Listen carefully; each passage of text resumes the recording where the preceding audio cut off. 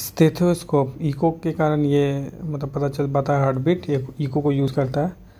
Heart बहत्तर और pulses 104 बार beat करते एक मिनट में। ब्लड प्रेशर सिस्टोलिक हार्ट जब पचकता है तो उसको सिस्टोलिक बोला जाता है।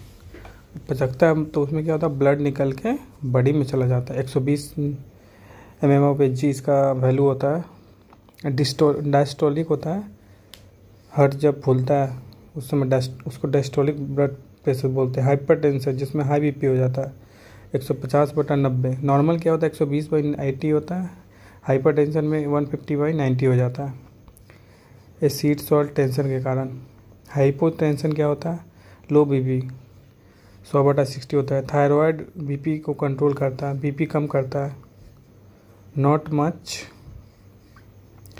work in male मतलब मेन में बहुत ज़्यादा काम नहीं करता। है एड्रेनल किडनी में होता है ना, वो बीपी को हाई कर देता है। फाइट एंड फ़्लाइट हार्मोन होता है ये। ब्लड में क्या क्या होता है? प्लाज्मा होता है सेरेलॉजी एंड कॉर्पल्सेस चाल प्लाज्मा सिक्सटी परसेंट होता है कॉर्पल्सेस फोर्टी परसेंट होता है। दो चीज़ होता है plasma corpuscles plasma liquid part होता है नाइन्टी परसेंट ऑफ़ ब्लड होता है वो। मतलब प्लाज्मा का जो नाइन्टी परसेंट पार्ट होता है, वो लिक्विड है। और कुछ परसेंट जैसे फाइब्रोड जीन होता है। ये गाढ़ा होता है। सीरम में क्या होता है? प्लाज्मा माइनस फाइब्रोजिन, वो होता है सीरम पार्ट। मतलब तीन चीज़ हो गई इसमें। लिक्विड हो गया, फाइब्रोजिन हो गया और फिर सीरम हो गया प्लाज्मा में। कॉर्पल्सस में R B C W B C plate से प्लेटलेट्स सॉलिड होता है ये सब। R B C ninety five percent W B C R B C लगभग पचास लीटर पचास लाख होता है। डब्ल्यू बी सी दस हज़ार होता है। प्लेटलेट दो लीटर होता है।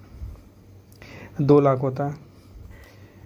आरबीसी बहुत ज़्यादा होता है रेड ब्लड सेल्स एथ्रोसाइट भी इसको बोलते हैं। लाइफ इसका 120 दिन होता है। इसमें लाइजोसोम नहीं होता है। स्प्लीन में डिस्ट्रॉयर हो जाता है।